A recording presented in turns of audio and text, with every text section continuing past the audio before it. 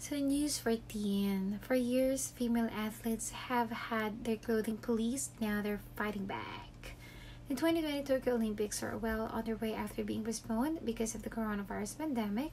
And while the games are only a year behind, you might be forgiven for thinking professional sport is stuck in a far more severe time warp. In the month building up to the world most anticipated sporting event, female athletes have drawn attention to numerous incidents they say left them feeling shamed or sexualized. Double Paralympic world champion Olivia Breen said this month she was left speechless.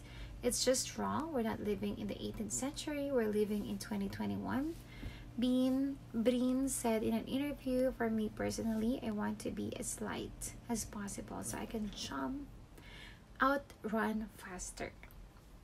Questioned whether a male competitor would be similarly criticized. The female official's comment really shocks me and makes me really cross. I just thought that needs to change.